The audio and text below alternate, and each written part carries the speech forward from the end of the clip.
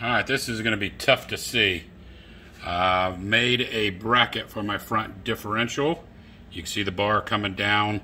It is attached to the top of this uh, frame here. I used angle iron because I like that. I think it's a lot more rigid than just flat iron. And uh, that's about a 10 inch piece going all the way across. Got uh, four holes drilled into it so that way I can put some U-clamps on there. There's also a bolt in the center and you can kind of see where the angle iron is going down to the differential itself. I'm trying to get in here to get you guys a view. Go to the other side. What that's going to do is a lot like the Turner Cycles. It's going to allow me to have an upper support on the front diff to keep it from twisting and uh, burning up the uh, brackets there, especially since those brackets had to be egg-shaped uh, to move that whole diff back to get rid of the slop in the uh, drive axle, the drive shaft. So there it is attached. Now, kind of hard to see on the angle there, but toward the tip towards the, the um, diff had to be grinded down a little bit so that way it doesn't wear into the differential because I believe that's just either a pot metal, cheap metal uh, casting and uh, that is uh, carbon steel or whatever, not carbon steel, just uh, flat iron or whatever bracket, and I didn't want to wear a hole in it.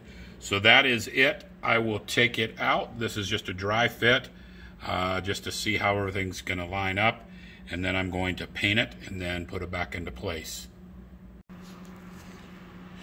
All right, so here's the new bracket out off the bike. Um, once I get it into place, I will spot weld the top here the sides and the bottom to give it more rigidity. For now, I just put it together with a bolt, and the reason being is I needed this to sit in its most natural form with the, the diff to where I'm not putting the differential in a bind when I put this bracket on. Uh, these are what will attach to the frame. So again, this bar, if you can imagine, this will be the rear of the bike that we're looking at.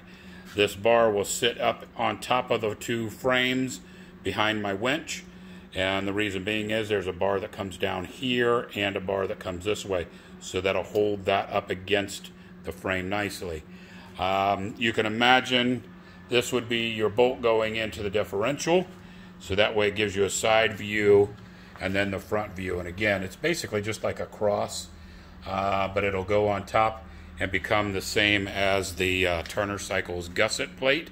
You could do the same thing on the back of your bike. Uh, I bought their bracket. I think it was like ninety dollars shipped, uh, but that's that's an expensive thing when I could buy this whole piece of angle iron for ten bucks. Uh, I've already got the, the screw here, and these things are like a dollar twenty-five each.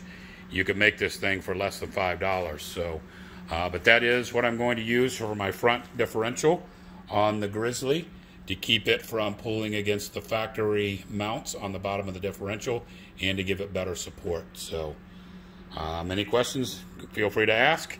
Uh, the only measurement I can give you is this bar, the top bar is 10 inches. The rest I just gauged it by drilling my hole in the bottom here for the differential and then lining it up and drilling here so I don't even know what the size of that is. It's not going to matter because your differential may not line up exactly as mine does. So you want to dry fit yours just like I did mine, so that way you know you got a good fit.